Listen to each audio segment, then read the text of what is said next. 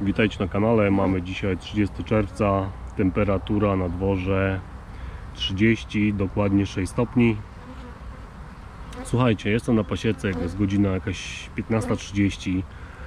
E, no zostałem taki widok. Jest takie na wylotkach e, wiszą całe brody, brody pszczół. Mają one za gorąco w ulu. Ja i tak tutaj pozmieniałem, e, poprzekręcałem korpusy na zabudowę zimną, bo trzymałem je wcześniej na zabudowie ciepłej. Po, poobkręcałem po prostu korpusy względem dennic. E, pootwierałem wszystkie pajączki, mimo to no, od tygodnia te upały dają siwe znaki. No jest taka sytuacja, e, no jaka jest, że te pszczoły po prostu mają za gorąco i tak i tak wychodzą z tych uli, wisza, wi- wieszają takie brody. Słuchajcie, tutaj jeszcze jest, e, pokażę Wam tą grykę. E, zaczyna się robić tutaj biało. Jest godzina, no tak jak koło po 15, chwila po 15, nie ma tutaj ani jednej pszczoły. Te pszczoły, które latają wokół kamery, to dlatego, że no, ja się cały pocę, one po prostu lecą do tego potu. E, zaczyna się powoli, powoli ten sezon na grykę.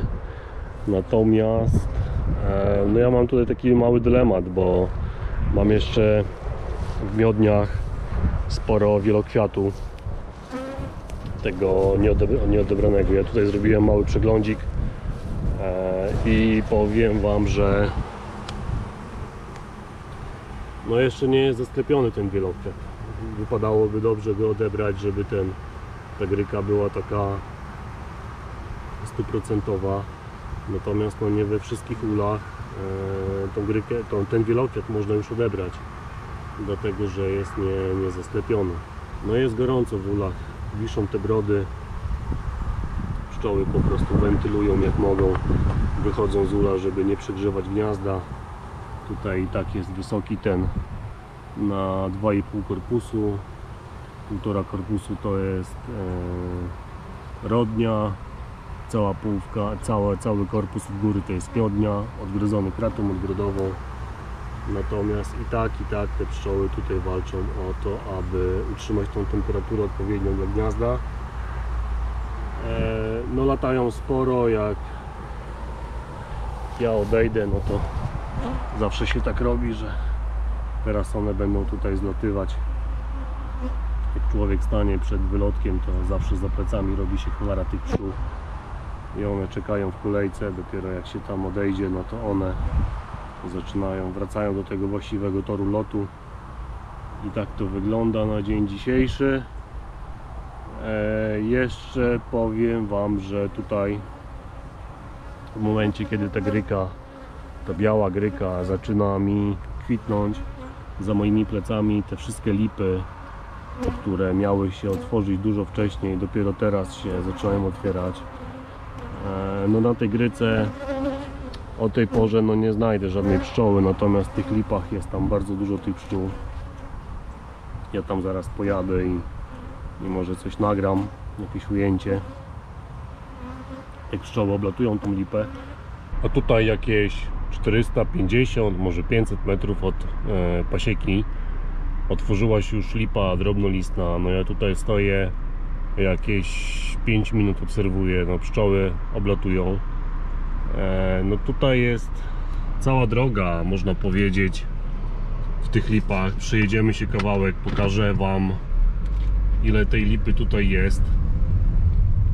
Także no po jednej i po drugiej stronie e, już ta lipa pootwierała. Jest tego naprawdę sporo. Tak jak widzicie, o tutaj kolejne drzewo. Po jednej i po drugiej stronie dosłownie jest wszędzie lipa. A tutaj jakieś 450-500 metrów w prostej drodze jest moja pasieka. No i tak to wygląda. Tutaj dalej dalej wszędzie tutaj są te lipy pootwierane oczywiście no i tam jeszcze No i zobaczcie, tak wyglądają ramki. Są ładnie zasklepione. E, przyjadę jutro rano, odwiruję ten wielokwiat, żeby już ta gryka była e, taka czysta. Przyjadę, no może, może coś nagram, zobaczę.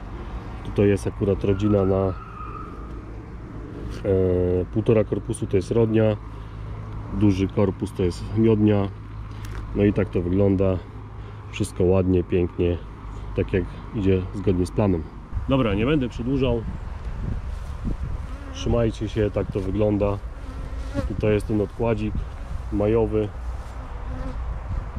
E, Jutro muszę przyjechać, dołożyć do niego trochę ramek, dlatego że no, pszczoły zaczynają już budować sople, a to oznaka, że mają za mało miejsca na, na ramkach.